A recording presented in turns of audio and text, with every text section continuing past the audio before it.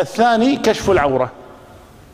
الطهارة كما أنها شرط لصحة الصلاة كذلك ستر العورة شرط لصحة الصلاة. فإذا صلى الإنسان ثم كشف عورته عامدا بطلت صلاته. واحد هو يصلي أظهر فخذه مثلا بطلت صلاته. المرأة وهي تصلي أخرجت شعرها بطلت صلاتها. إذا كشف العورة يبطل الصلاة. تذكرون عورة الرجل في الصلاة؟ ما هي؟ من السرة إلى الركبة وعلى المذهب زيادة إيش؟ ستر أحد العاتقين. والمرأة عورتها في الصلاة جميعها ما عدا الوجه والكفين وخلاف في القدمين.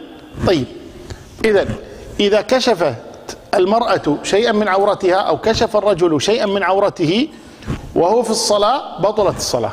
لأنه اختل شرط من شروط صحة الصلاة.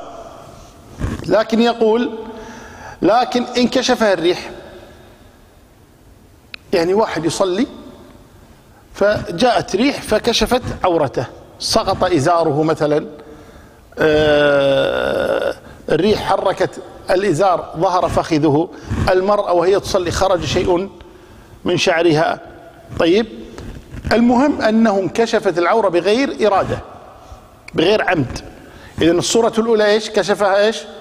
عامدا. وقلنا تبطل الصلاة. الآن لو لو انكشفت العورة بغير عمد. يقول إن سترها في الحال لا شيء عليه. لا شيء عليه. امرأة وهي تصلي نزل شعرها. أدخلت أدخلته وسترت شعرها مرة ثانية تستمر في صلاتها. الرجل وهو يصلي سقط إزاره. البس على طول. أربطة. صلاته صحيحة. إذا إذا انكشفت العورة بغير عمد وسترها في الحال. ها. تصح صلاته. تصح صلاته. يقول أولى.